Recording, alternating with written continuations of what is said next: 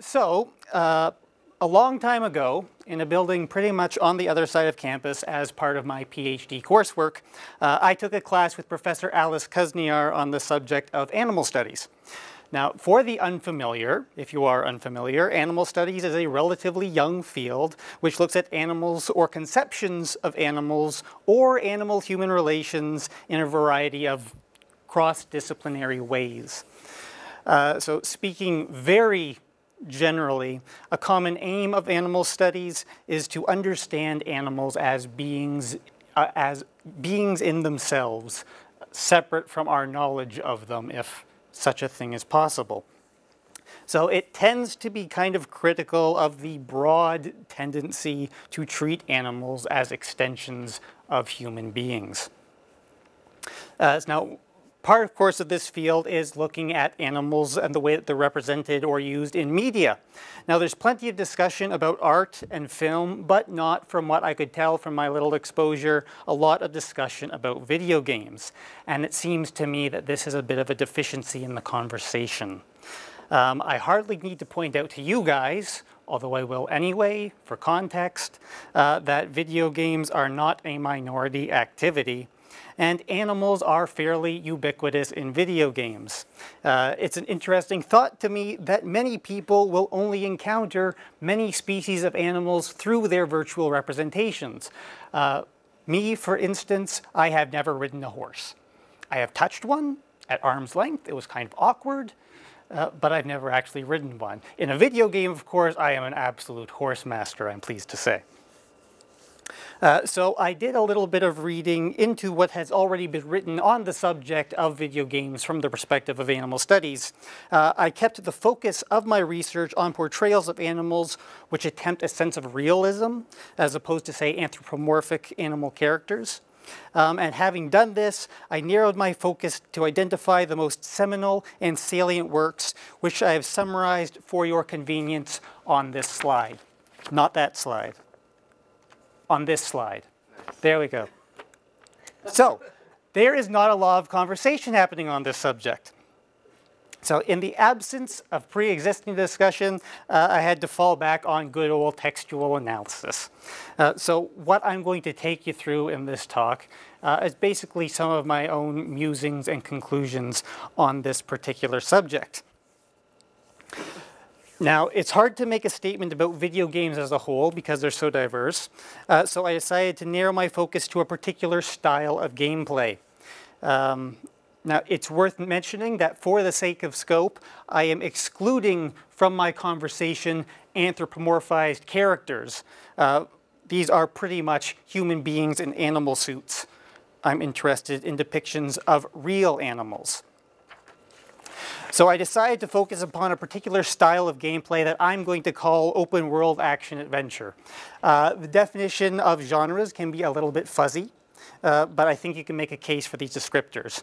Uh, in action games, the player takes control of a character with a certain repertoire of available actions or moves. Uh, the player deploy deploys these moves using manual dexterity and fast reaction time to navigate the obstacles of the game. Adventure games are characterized by their story-driven nature uh, and their encouragement of exploration by the player, uh, and some often gameplay focused on puzzle solving. Open world games provide a sizable virtual environment which the player can navigate with a large degree of freedom. So the player is given a great deal of choice in the way in which they move through the game world. Uh, if there are goals provided, the player has some choice in the order or timing of their completion. So you stick these together and you have a kind of gameplay which ought to be very familiar, where you take control of a character, move through a big world, solve problems, beat people up, generally be a badass, that kind of thing. Uh, so, do, do, do, do, yes. Now, the nice thing about these kinds of games is that they put an awful lot of importance on the relationship between the player and the world around him. So they encourage a lot of engagement with the game's environment.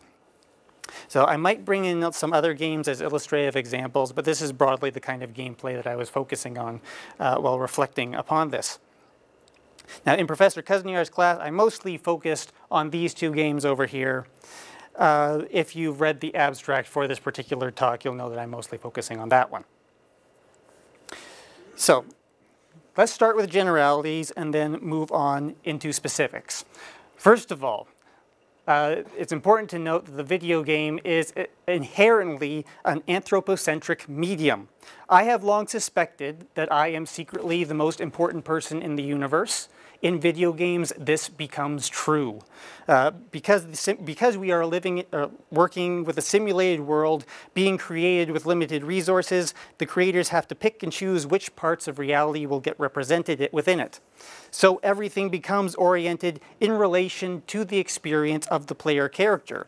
So within the game world, I am just flatly more important than anybody else. And everyone else is important mainly in the ways that they relate to me if I'm not in a position where I'm not, where if I'm in a position where I'm unable to see something, that thing is probably not even being represented spatially. So this the animal studies notion that I mentioned earlier of an animal that can be conceptualized distinct from human beings is a thing that is just not going to get expressed within video games. Uh, animals that appear in the games get their meaning from their relationship with the player character. Now, broadly speaking, we can categorize human-animal relations in video games into a little bit of a framework. When sorting the role of the animal into one or more of these non-exclusive categories, the first question to ask is whether a player is capable of having a consequential interaction with the animal. Uh, a consequential action I am defining as an interaction which changes some variable or number associated with the player character. And I hope you'll see what I mean as I go along. So if the player character does, if the animal does not change anything about the player, if they are not capable of consequential interaction, they are ornamental. Ornamental animals add a sense of verisimilitude, verisimilitude to the game world. Uh, sometimes you may be able to have inconsequential interactions with them. For example, in some Legend of Zelda games, you can pick up a dog, at which point your choices are to walk around with the dog or put the dog down. Uh, other times, uh, the animals will appear distantly enough that you uh, will appear distantly, sorry, pardon me. Other times they will appear distantly enough that you can't touch them. You won't actually be able to physically interact with them. Or they may not actually be represented as an entire organism. Uh, the sound of birdsong, for example, might be a part of the ambiance of a forested area, but you will not actually, do not actually need to see any birds. Animals which can affect the player, if, if the animals can affect the player, then the effect can either be beneficial or antagonistic. Antagonistic animals act as monsters. Uh, animals in this role tend to have a very limited AI and a small set of moves which they are able to deploy against the player. For example, in Red Dead Redemption, you can encounter cougars. Uh, if you find one, it will try to kill you. If it cannot kill you, it will retreat. Then it will circle around you and try to kill you again. This is the entirety of the cougar's existence within the game. When animals are beneficial, the value of the animal is either located in something provided by the animal or by the animal itself. In the former case, the animal is a resource. Uh, the thing provided might be an inventory item like a pelt or, or something more ephemeral like experience or health, or even progress towards a goal. Uh, as an, an, a funny example of this, if you punch a sheep often enough in Minecraft, it will transform into wool for you. So that animal is a resource. Uh, if the animal, though, in and of itself is useful to the player, it will usually be as a tool.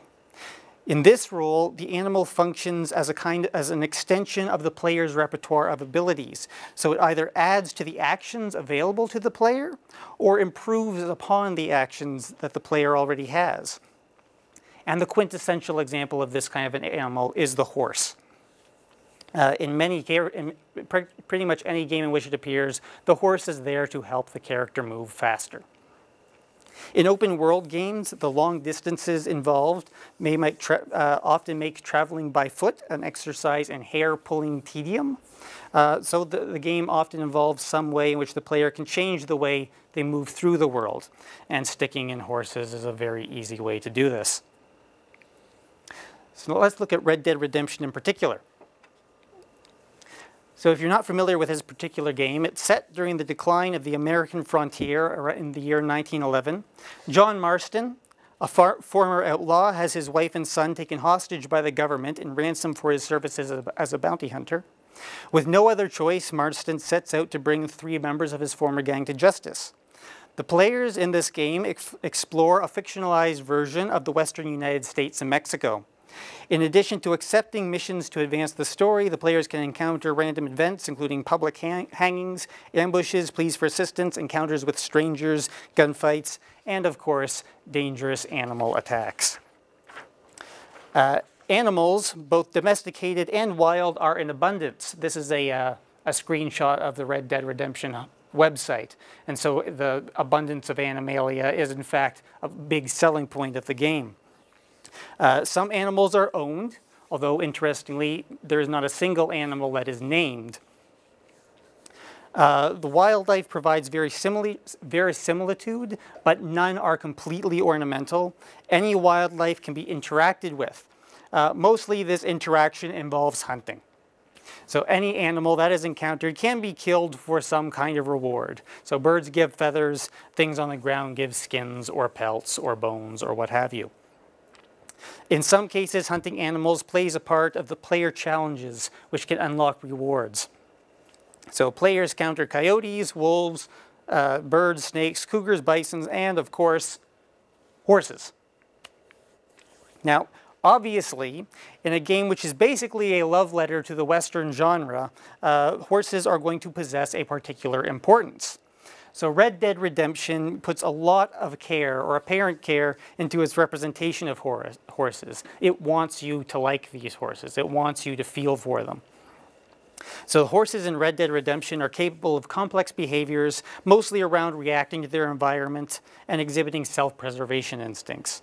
For example, the horse will generally refuse to jump off a cliff despite attempts by the player to guide it over, uh, or will become panicked when riding too close to the edge of a, a steep drop.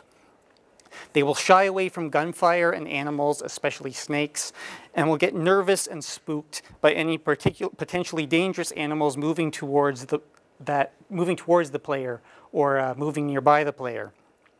Uh, there, there, a lot of care was put, uh, put into their representation, particularly their movement. I'm told they have very realistic gaits. Now there are roughly 20 breeds of horses which may be acquired or tamed with varying temperaments and stamina. A horse's loyalty can be improved by treating it well, although in this game, treating it well mostly involves feeding it apples and riding it often and for long distances. The main reward for treating it well and gaining increased loyalty is more stamina. And here we start to see where the realism of the simulation starts to break down a little bit. Because while there are a number of different horse breeds in the game, the primary way that the player is going to get to know these horses is through their statistics. Uh, different horses have different levels of top speed, health, levels of stamina. Stamina, notably, is displayed for the player and acts as a rechargeable resource. So if the player spurs his horse to the point where the stamina is depleted, they become exhausted and buck you off. So in terms of the number of breeds that I mentioned, of the 20 breeds that I mentioned, 17 of these are actually just two sets of statistics with different skins overlaid. So from a certain perspective, there's only two horses. Uh, in one of the earlier story missions available to the character entitled Wild Horses Tamed Passions, uh, the focus is around the capture and taming of a group of wild horses. The climax of the mission involves Marston chasing down the pack stallion, eventually receiving ownership of it as a reward for his efforts. And that's actually this horse that's, pictured, that's uh, pictured over there. Now this horse is interesting because this, this particular breed in the game is called the Kentucky Saddler. Uh, statistically, it's one of the three best breeds of the game. There's only one other breed that's faster and only one other that has more stamina. Now, of all the abundant animals in the game, this is maybe one of three that is assigned a sex, which is interesting. Uh, this mission happens very early uh, and treated well, this horse can last you the rest of the game. It often doesn't. Everybody has their memorable video game experiences. Here's one of mine from this game. So I'm John Marston. I'm exploring the wilderness, having recently acquired this animal. Uh, my horse and I are traipsing uh, merrily through the brush when the air is rent by howls. We are beset by wolves. I know I, I know I have only a moment before they are attacked because they are wolves, and that is what wolves do in this game. Uh, and so I twist my character towards the nearest movement and hit the buttons to draw and fire my gun. Time slows, and I watch as my character, on his horse, draws his weapons, locks onto the wolf, follows it as it runs around in front of the horse, and shoots my magnificent steed, my loyal, hard-won steed, right between the ears, right out from under me. So how do you recover from a thing like that? I will tell you how I recovered from a thing like that. I waited 30 seconds and then pressed the call your horse button, and a new one showed up. It was fine. So, in uh, what do you call it? Uh, in spite, as, as much as the game tries to get you to care about horses, it doesn't really work. Uh, a player dealing with horses in this game will first consider them in the frame of their reactive behaviors, but and ultimately in terms of their underlying mechanical systems. Um, and in the context of their underlying mechanical systems, they are interchangeable and infinitely ex uh, expendable. So here is actually where we can make our bridge between animal studies and video games. I'm going to talk now, I'm going to talk a little bit about the readings I've done. I'm not, uh, so this is going to be a little bit less interesting to look at for a minute or two, so I hope you can excuse me for that. In her book, Images of Animals, Eileen Crist looks at the representations of animals in the literature of behavioral science. So in particular, she observes the difference between schools of thought which have allowed for the description of animal behavior with the ordinary language of human action and those which rely on technical description. So in the first case, by extending this lang the language of action to animal action, certain dimensions of logic in regards to human action are extended to animals as well. Uh, these being the assumption that the action is meaningful and authored. Uh, the idea of meaningfulness conveys the idea that within their own world, actors experience events, objects, actions, and relations as things that are imbued with their own import and repercussions. While authorship implies that actors are able to bring about or to not bring about things as a matter of agency. Now, this kind of writing, Crist argues, allows for the depiction of a subject with, that experiences the world as a meaningful place, rather than just existing in it. Now, on the other hand, in technical language, the terms used receive their meanings entirely from the viewer's framework. So technical terms like stimulus response, innate releasing mechanisms, or maximizing fitness uh, can't be understood as connecting to the animal's phenomenal world because they're alien to any possible experience of perspective of, or perspective of animals, pardon me.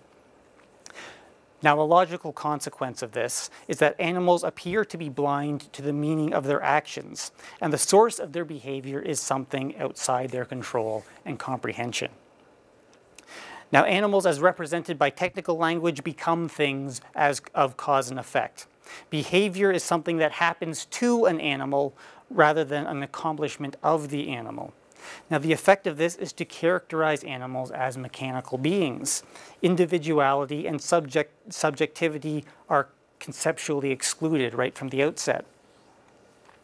Uh, the same tendency to exclude animal, the possibility of animal minds from animal representations is noticed by Lynda Birke in her book, Feminism, Animals, and Science. Uh, what Birke observes is that different methods of knowledge production tend to blur the idea of animals as individuals. Uh, she points to example to reductionism in biology, uh, which is the observation of simple variables and the drawing and drawing conclusions through inductive reasoning from those, um, or the increased emphasis on statistical norms. Um, the naturalists that Crist looked at in her writing wrote in the early 1900s uh, and on their experiences with particular animals or particular phenomena uh, whereas by the mid-1900s, the emphasis had changed to hypothesis testing and quantitative analysis. So animals are often defined either at the micro level or, or, the macro level, which is to say either by their genes or by their tax taxonomy as a species. So the subjectivity of the animal mind is excluded from the definition of the animal. So the animal is its body, or the animal is its species, and that's the entirety of it. So Crist argues that the emphasis on external descriptions of animals lead us into falsely conceptualizing them as things without personal inner experiences, while Birke finds the individual animal is subordinated to broad abstractions in scientific analysis. So Birke uses the phrase beast machines to describe this in reference to uh, Descartes' conception of an entirely material animal without mind or soul. Uh, Crist's term is mechanomorphism, uh, the conceptualization as, of living creatures as mechanical things, in contrast to, say, anthropomorphism, which is the assignment of human characteristics to other living things. Uh, so let's move back to the game. Uh, there should have been a video over here, uh, but I was unable to get that to work in time, unfortunately, for this particular talk. Uh, as I mentioned earlier, there are a number of challenges uh, available in the game. These challenges often involve hunting animals. Uh, you might be required, for example, to shoot a number of birds from a moving train or to blow up a cougar with a stick of dynamite, which is always a good time. Uh, the video which I intended to show you, and instead the image which I will show you instead, uh, is uh, of the completion of hunting challenge number eight, which is to, the object of which is to kill a bear with your hunting knife and skin it. Uh, in the strategy that the player that I watched use uh, decided in, to accomplish this, he shot the bear once, Somewhere in the underlying world model of the game, a number indicating the bear's health was decreased, and then he brought out his knife and had at it. Now, I invite you for a moment to consider what would happen if you went after a grizzly bear with a hunting knife. Or even better, consider what would happen if I went after a bear with a hunting knife. Something fun would probably happen, but probably not for me. So in order to in order uh, the, the player, though, gets through this challenge. To do this, he needs to be aware of what moves are available to the bear, AI, the bear AI and what moves are available to him. Uh, completing the challenge, then, is a matter of deploying his own actions in the right order and with the right timing to overcome or counter those of the bear. Uh, what actually ends up happening in the video is that the bear and, bear and the player end up chasing each other around in circles, trying to score hits on each other. You could play yakety sax music, and it would be quite appropriate, and I know this because I did. Uh, challenges like that are set up to test and reward the player's mastery of game mechanics. So from a distance, animals are intended to look like realistic animals. Once you get up close, though, the player is encouraged to consider them and deal with them in terms of their underlying programming. Uh, animals within a game world ultimately become to be defined as active processes, particularly in this game world. Uh, we as players are encouraged to discard them from our mental image of the simulated, we're encouraged to discard from our mental image of the simulated world the notion of animal mind. It's a thing that's interestingly close to Crist's problem of mechanomorphism, uh, in which, uh, since by not being part of the definition of animal, experiences and individuality are things which must be proved externally rather than assumed. And this leads me to the end of my talk. Is there any questions, comments, concerns?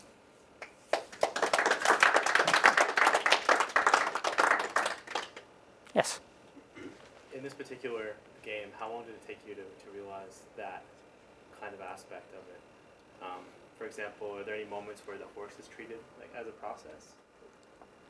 And more so, well, besides calling it back, I guess that's the, the obvious one, right? Yeah, when I, when I was originally looking at this, I was I was thinking a lot in terms about the um, the representation of horses in particular in video games.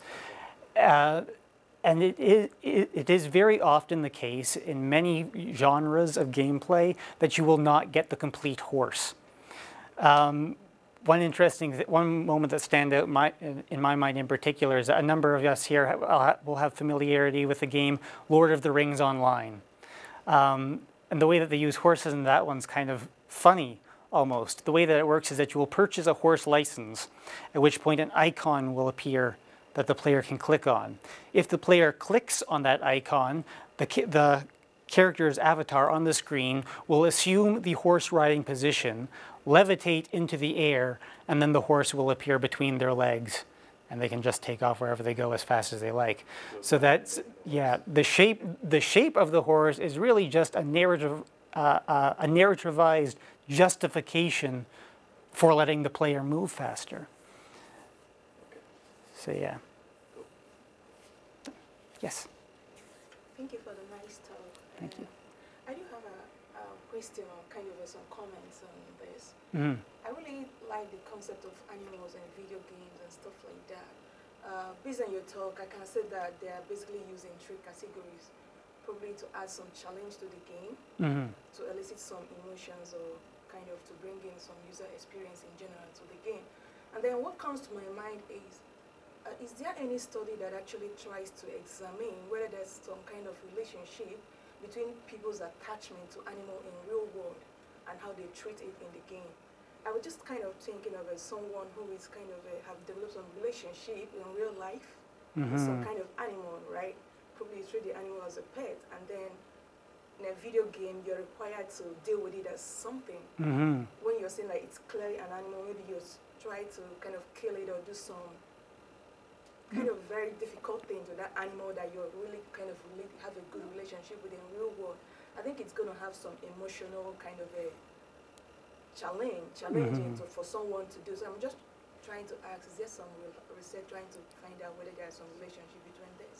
So I see, I don't know for certain if there's any actual like studies done on it. I, I wouldn't be surprised if there were, but as I mentioned earlier, I, uh, I was not able to find anything that specifically dealt with the idea of animals in video games, which and I don't know if I don't know if, if that was just the limitations of my own research and the time and the time frame in which I did it, or if there is just a lack of availability of that particular kind of information, or a lack of interest in that particular kind of information.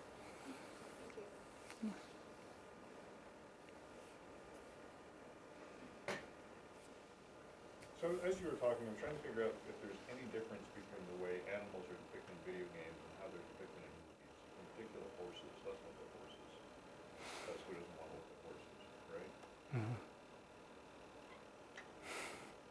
there anything different other than, you know, modes of transportation, for instance? Um, I realize there are some cases where, you know, cow persons, cowboys actually talk to their horses and that sort of thing, but I'm trying to figure out if there's anything other, other than functional, other than tools, if you will. Well, in movies, of course, it's all about the image. So there, uh, most of the time, I imagine when you see animals, they're there again to create some kind of sense of realism to what you're watching. It is, um, it is possible to have an animal as a character in a thing, either in a movie or a video game. Um, yeah. Or actually, I, I mentioned earlier that when I was studying this, not, I didn't include a lot of information about in this particular talk because I wasn't entirely satisfied with my conclusions. But I did look at Shadows of the Colossus uh, when I was studying this originally, in which there is a horse that, uh, what do you call it? I think they do a much better job of getting the player character to the player to care about. Now the thing is though, is that a lot of the times when you find an animal as a character, uh, the way that the game get the way that the game or the movie or the what have you gets you to gets you to attach to the animal is by giving them some kind of the char characteristic of a human being. So in a uh, shadow, in Shadows of the Colossus, uh, spoiler alert for anybody who hasn't played this yet. Uh, there is a scene near the end of the game in which you uh, you are forced to ride your horse over a bridge. Uh, the bridge starts to collapse and as the bridge collapses, your horse throws you to safety. Um, this is, a, a, a, this is uh, something that's missing from Red Dead Redemption, which is an indicator that the horses actually have some kind of minds of their own and are capable of intentionality.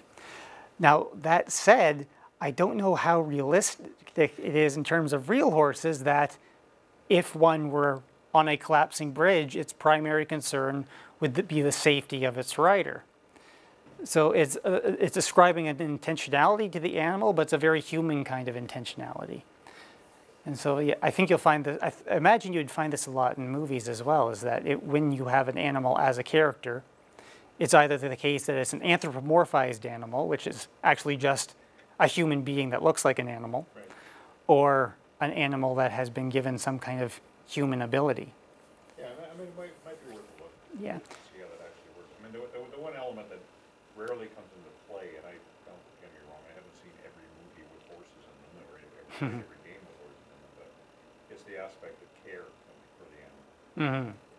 You know, things happen in, in, in, in, in, uh, in real life, like animals break their legs, they do all sorts of things, and they get sick and that kind of thing. You really, you know, you don't normally see that happen, that I know of in, in, in games or even in movies. I mean, it's, a- and it- to a certain extent, it's the same thing as cars in movies. They, uh, they're really a lot better than the cars I drive. You know, two lots of flying through the air and land, the shock absorbers don't take a hit, that kind of thing. So I'm just wondering if it's the same sort of thing it becomes pure, uh, pure tool. But it's, it might be worth, uh, worth a look to see how that compares.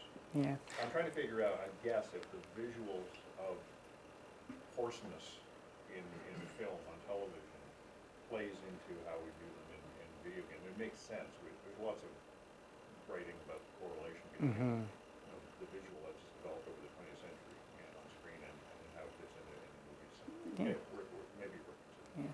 As a, a slightly related question that I'm curious about but don't really have an answer to yet is how important uh, anthropomorphization is to, un to empathizing with animals, I guess.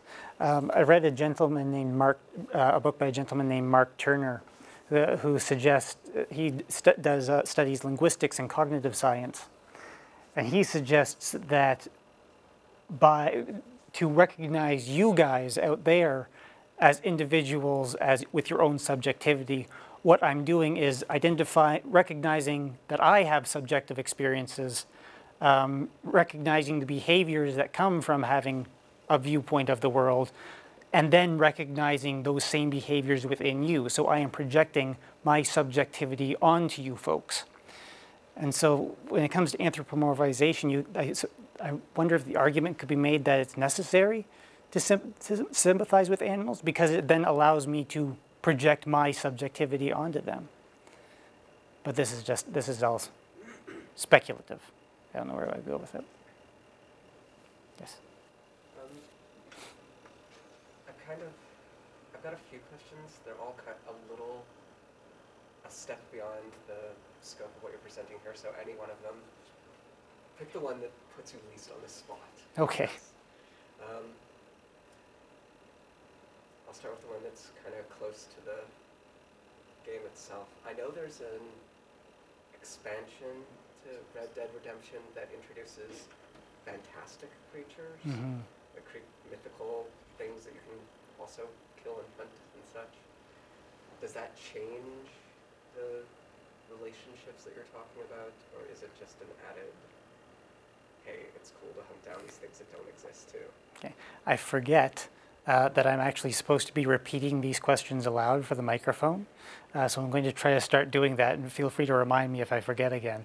And so the question concerns uh, the expansion for Red Dead Redemption uh, and the fantastical creatures introduced there. Um, and I actually did think a lot about that as I was preparing this. I was also thinking too in terms of say games like Fallout where you fight things that are based on natural creatures but are much larger or have two heads or basically much more obviously monstrous. And quite frankly, I don't quite know what to think about it. I suspect that it's, I, I think that it's, a, what do you call it? I basically think that it's a different, a, a slightly different subject. The use of animal characterizations and monster, uh, the use of animals, the, monstr- the monstrosity of animals. Well, what kind of got me thinking is that the tradition of these sorts of creatures in fantasy is to assign Mhm. them an agency that's closer to human than we assign actual animals. Like dragons can talk to us and we can make deals with them, although we probably usually shouldn't. Yeah, uh, there's, oh, it's complicated. There's also an, I think there's also an element to it, uh, though, of um, encountering an other kind of thing. Like i- i- i- in, uh, in the expansion for Red Dead Redemption, uh, you're able to tame horses, of course. Some of these horses are the four horses of the apocalypse, uh, which you're able to bring to your side. And so there's, a- I think part of the experience of that is the thrill of encountering something mythical and legendary and powerful and mastering it. Yeah. Um, my other question, I guess, there's been kind of a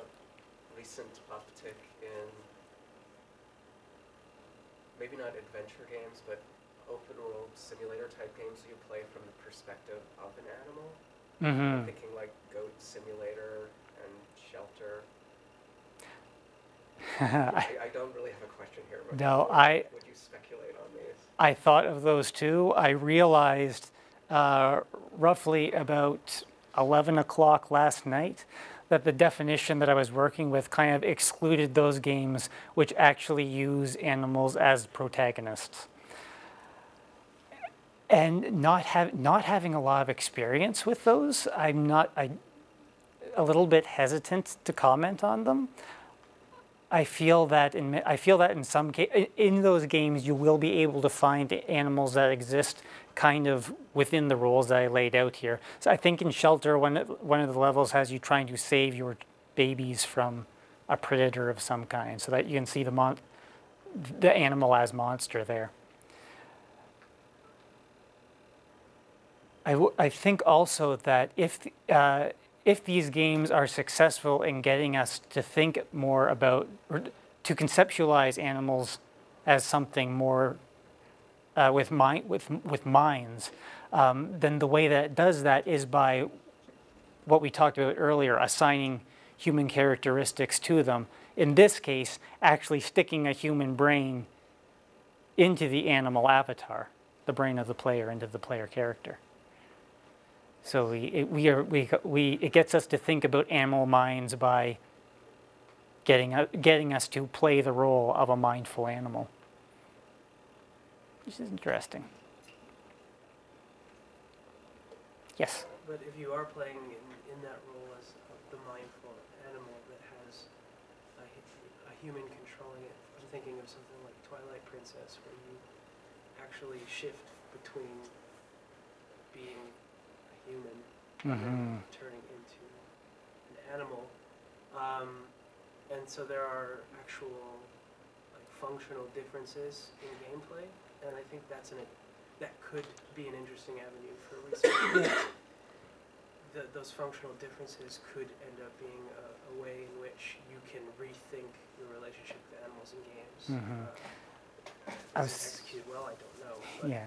I considered Twilight Princess as a, a, a in the study of this, and one thing, uh, and th- the thing about that that particular transformation that you talk about is that to, to me that is an example as animal as tool. So it's because we, we, we know the wolf is mindful because the wolf was a human being that turned into a wolf. So he's actually a person. And there's other experiences you have in the game where as, as a wolf you can talk to other animals and so gain some sense of a sub, their subjectivity that way, but you're speaking to them using human language. So again, it's like you have to bring them a little bit closer to humanity before you get that sense. So, yeah. Anything else? Know about chicken play in Lord of the Rings Online? Sorry, chicken play? Yeah. I do not. I'm a level one chicken, Oh, and, uh, it's kind of interesting, you give it a shot. That would be interesting. You get to see things from the perspective of a chicken. Presumably, there's no real research that's gone into what a chicken's perspective actually is, but, uh, but- any other questions, Nicholas?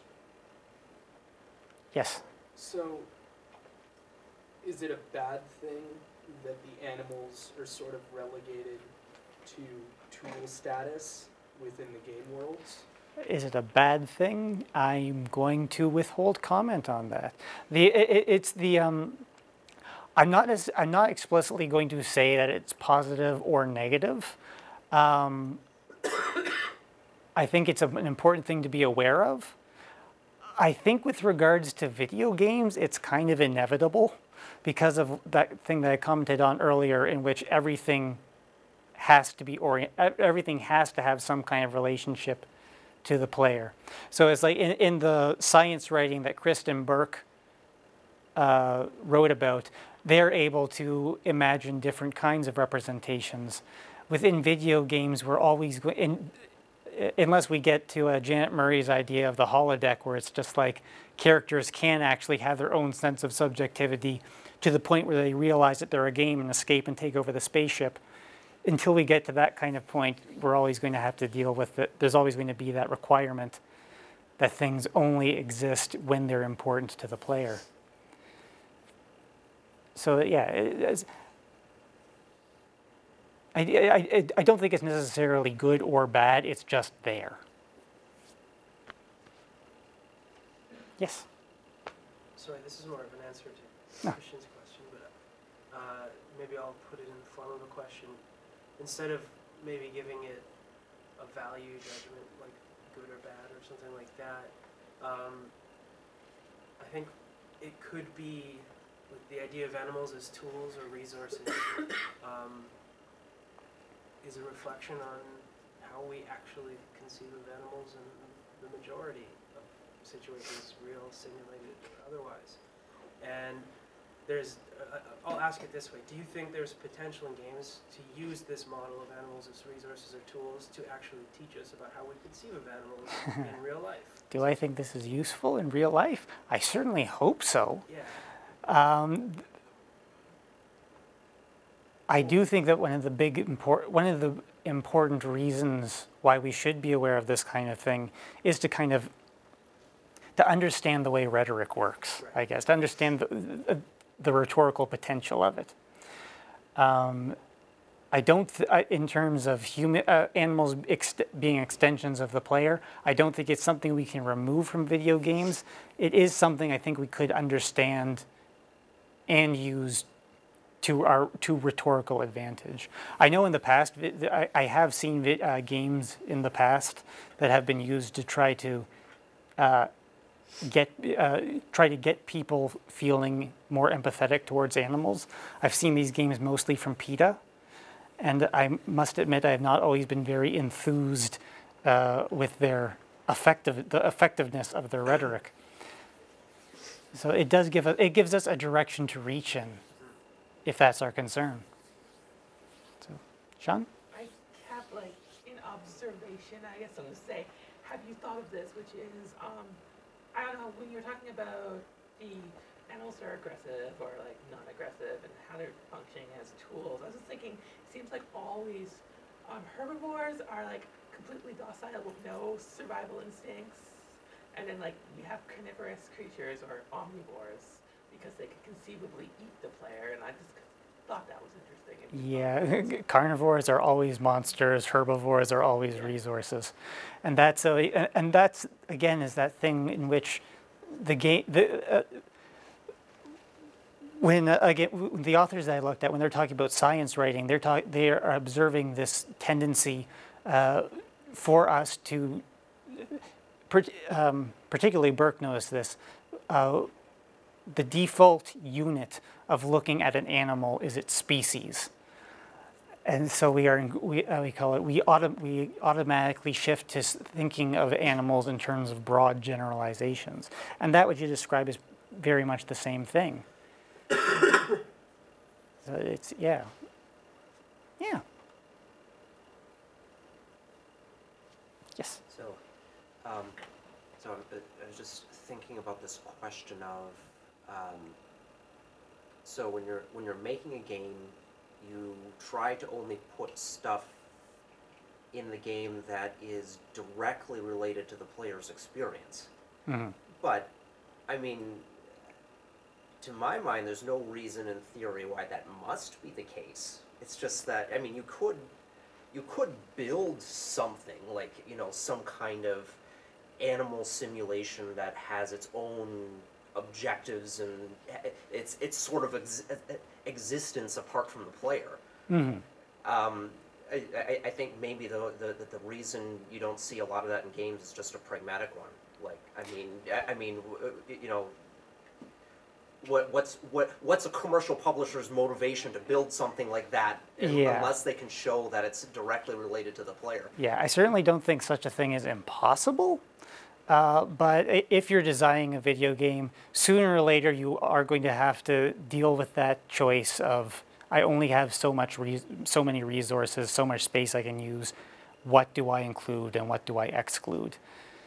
Um, and what you include, what you include or exclude will, how what do you call it, depend upon your goals with the simulation.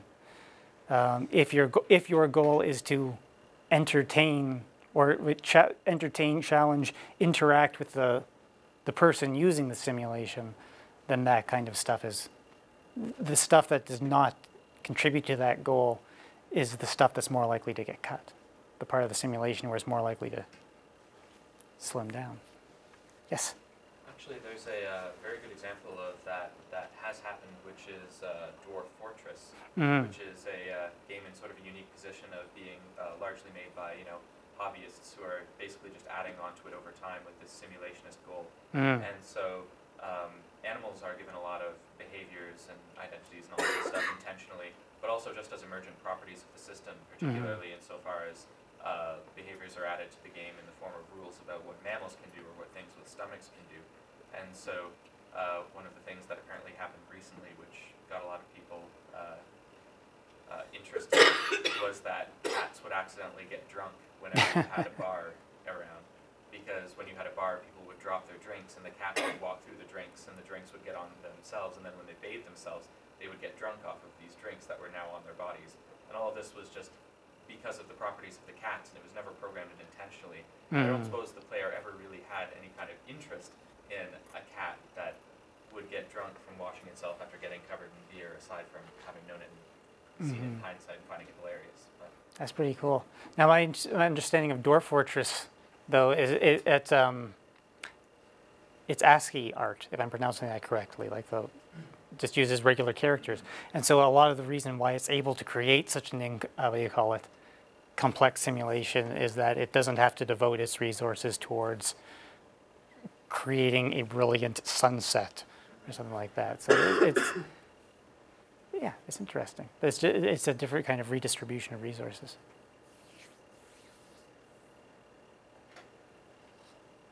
Any more questions? One final one? Anyone? Okay. Um, thank you, Nicholas. Thank you. And